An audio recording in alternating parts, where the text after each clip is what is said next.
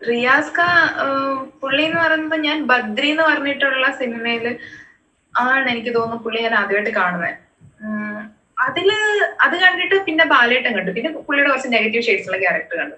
അപ്പം ബദ്രിയിലെ ക്യാരക്ടർ വിജയ് സാറിന്റെ കൂടെ ഭയങ്കര രസമായിട്ട് പുള്ളി ചെയ്തിട്ട് അതിൽ ഭയങ്കര പാവമായിട്ടൊക്കെ ചെയ്തിട്ട് ഇതേ മനുഷ്യൻ തന്നെ പെട്ടെന്ന് ആ ഒരു ട്രാൻസ്ഫോർമേഷൻ ടു നെഗറ്റീവ് ക്യാരക്ടർ അത് ഭയങ്കര ഒരു എനിക്കത് ഒരുപാട് ഇഷ്ടമായിരുന്നു. ഞാൻ നന്നായിട്ട് കാണാറുണ്ട്. പുള്ളിയുടെ ഓരോ ഫിലിംസും ഇങ്ങനെ കാണാറുണ്ട്. സോ അങ്ങനെ നമ്മൾ ഇഷ്ടപ്പെടുന്ന ഒരു സൗത്ത് ഇന്ത്യൻ സൗത്ത് ഇന്ത്യയിൽ തന്നെ ഇത്രയും വലിയ വലിയ സ്റ്റാർസിന്റെ കൂടെ ഒക്കെ അഭിനയിച്ചിട്ടുള്ള ഒരു ആക്ടറുടെ കൂടെ ഒരു സിനിമ വർക്ക് ചെയ്യാൻ പറ്റുക എന്ന് പറയുന്നത് ആദ്യം തന്നെ ഒരുപാട് വലിയ ഭാഗ്യമായിട്ട് തന്നെയാണ് കരുതുന്നത്.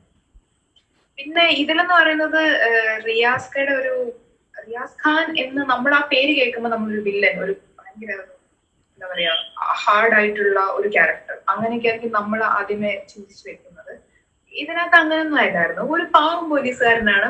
പിന്നെ പ്രത്യേകിച്ച് പറയാനുള്ള പുള്ളി തന്നെയാണ് ഇതിൽ ഡബ് ചെയ്തിട്ടുള്ളത്.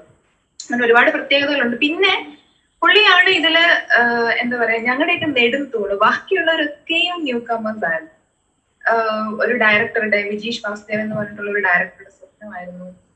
ഇതിൽ സനൂപ് എന്ന് പറഞ്ഞ ചേട്ടൻ അഭിനയിച്ചിട്ടുണ്ട്. അങ്ങനെ ഞങ്ങൾ കുറെ പുതുമുഖങ്ങളായിട്ടുള്ള ആളുകളാണ് അഭിനയിച്ചിട്ടുള്ളത്. ഞാനും അന്ന് ഈ പറഞ്ഞ പോലെ സീരിയലും കാര്യങ്ങളൊന്നും ചെയ്തിട്ടില്ല. അധികം ഞാൻ ചെയ്തിട്ടില്ല. അപ്പം അതൊക്കെ നമ്മുടെ ആ ഒരു സ്റ്റാർട്ടിങ് സ്റ്റെപ്പുകളിൽ പെട്ട ഒരു സിനിമയായിരുന്നു. സിനിമയുടെ പേര് മൂന്നാം നിന്നാണ് അപ്പം പുള്ളിയുടെ കൂടെ അഭിനയിച്ചത് ഒരുപാട് സന്തോഷമുണ്ട്. അതിലൊക്കെ പറയാനുള്ള പുള്ളിയുടെ പ്രൊമോഷൻ വർക്ക്സ് ചെയ്തതായിരുന്നു. ഭയങ്കര കൂളാണ് നമ്മൾ നമ്മൾക്ക് അത്രയും വലിയൊരു സിനിമയിൽ ഇത്രയും വലിയ ആർട്ടിസ്റ്റുകളോട് അഭിനയിച്ചിട്ടുള്ള ഒരു ഒരു സീനിയർ ആയിട്ടുള്ള ഒരു ആക്ടർ ആണെന്നൊന്നും പുള്ളി കണ്ട ഫീൽ ചെയ്യത്തില്ല. എന്ന് വെച്ചാൽ പുള്ളി ഭയങ്കര കൂളാണ് എപ്പോഴും. ഭയങ്കര ഒരു പോസിറ്റീവ് എനർജിയാണ് ഇതിനേക്കാളും ഒന്നും കൂടുതൽ എനിക്ക് പറയാനായിട്ട് അറിയത്തില്ല. ബിക്കോസ് ഞാനെന്ന് പറയുന്ന ഒരു ഒരു വില്ലേജിൽ നിന്നാണ് വരുന്നത്.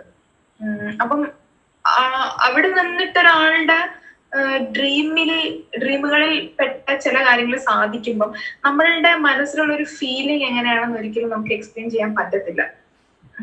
എനിക്ക് ഇങ്ങനെയൊക്കെ പറയാൻ പറ്റത്തുള്ളൂ. ഞാൻ നമ്മൾ സ്ക്രീനിൽ കണ്ട നമ്മളൊക്കെ ഒരുപാട് ഇഷ്ടപ്പെട്ടുന്ന ഒരു താരത്തിന്റെ കൂടെ അഭിനയിക്കാൻ പറ്റി. അതൊരു തരം എന്താ പറയാ ഒരു അല്ലാത്തൊരു എക്സ്പീരിയൻസ് ആയിരുന്നു. ഇത്രയും എനിക്ക് പറയാൻ അറിയത്തുള്ളൂ. എന്റെ എന്റെ സന്തോഷം എനിക്ക് എങ്ങനെയാണ് വെളിയിലേക്ക് പറയേണ്ടതെന്ന് എനിക്ക് അറിയത്തില്ല